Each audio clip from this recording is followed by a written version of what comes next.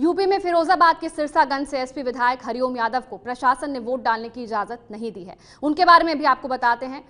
हत्या की कोशिश के केस में हरिओम यादव 5 मार्च से जेल में बंद हैं।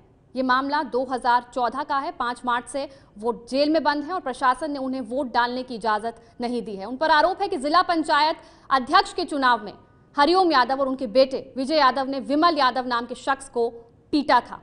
हत्या के प्रयास का मुकदमा उन पर दर्ज है और उसी के चलते वो जेल में बंद है। उसी मामले में हत्या की कोशिश में हरिओम यादव जेल में बंद है और आज वोट नहीं डाल पाएँगे हरिओम यादव। ये है एबीपी न्यूज़ आपको रखे आगे।